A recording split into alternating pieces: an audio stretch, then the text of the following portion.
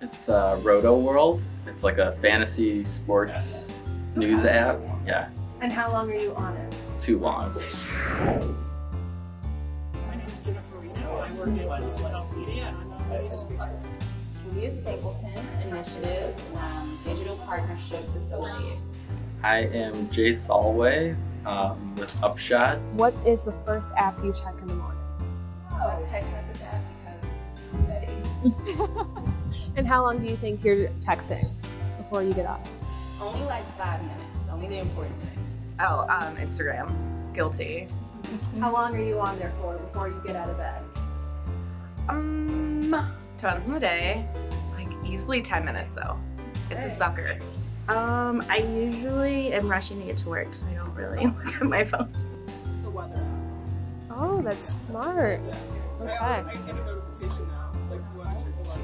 Mhm. For how long?